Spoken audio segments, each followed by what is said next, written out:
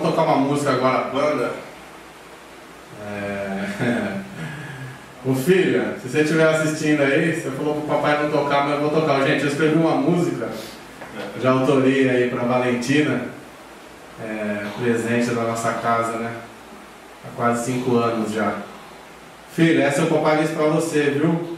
Beleza? Vamos tocar ela já em seguida para não estender muito o horário. Valeu, gente?